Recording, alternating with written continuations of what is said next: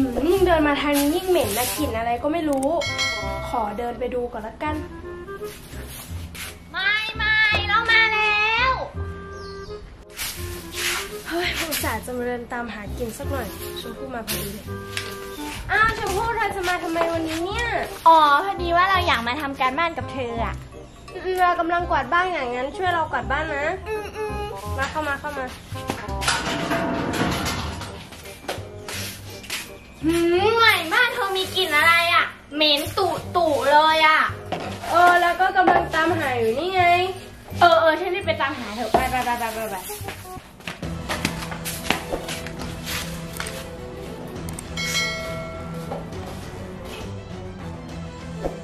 เฮ้ย มีคนมานอนบ้านเราด้วยเหรอ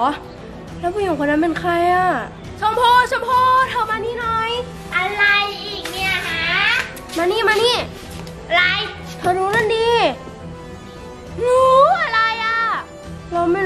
เขาคนนั้นเป็นใครอะแต่ว่าเราสองคนอะต้องเดินไปพร้อมกันไปบอกเขา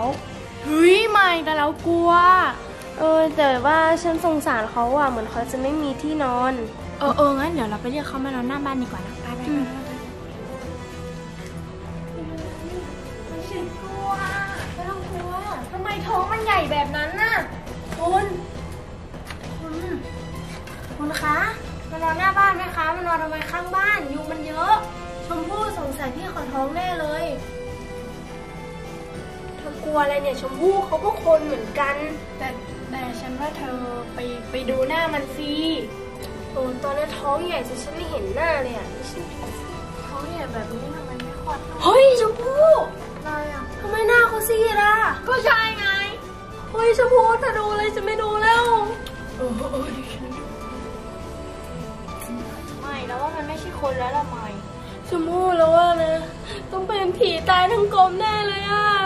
ไม่มาอยู่บ้านเธอนะเธอต้องจัดการแล้วแหละแล้วเราจะเอาสับปะเลอที่ไหนมาย้ายศพแล้ว ทุกคนคิดว่าเราควรแจ้งความดีไหมคะ ถ้าคิดว่าต้องแจ้งความกดไลค์เยอะๆนะคะชมพู่แล้วเราจะเอายังไงอะทำไงดีอะเราก็ไม่รู้